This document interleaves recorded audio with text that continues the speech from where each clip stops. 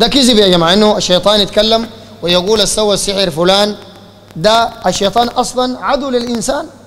ربنا قال فاتخذوه عدوا فهو عدو مضل مبين لبني البشر. فكيف انت تصدق كلامه؟ النبي عليه الصلاة والسلام قال له صدقك وهو شنو؟ كذوب. يعني الشيطان الاصل فيه إنه كذوب. ما تصدق كذوب. فهذا بتعمل فتنة بين الناس. إنما يريد الشيطان أن يوقع بينكم العداوة والبغضاء. فدار يعمل بيناتكم العداوة والبغضاء.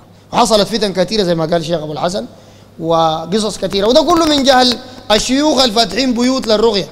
تلقى جاهل ما متعلم دين أصلا. حافظ له آيات معينة خمسة ستة آيات بيقرأ بها للناس. بتاعت رقية بس بتدخل له قروش في جيبه. عرفت كلامي؟ مشتري بها عربية وبتاع بالشغلة دي بس. يغشك.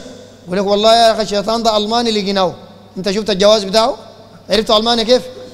يقول لك لقيناه ألماني والله. يقول كده؟ واحد يقول لك برضه طلع ما أعرف دنقلاوي طلع جعلي طلع نوباوي طلع شنو ما بعرفه. كذاب يا أخي يا أخي ده كذاب ساكت. خلاص الشيطان ممكن يتكلم بين الإنسان. لكن الكلام اللي بيقوله ده ما تصدقه. ما تصدقه بس ده الموضوع كله.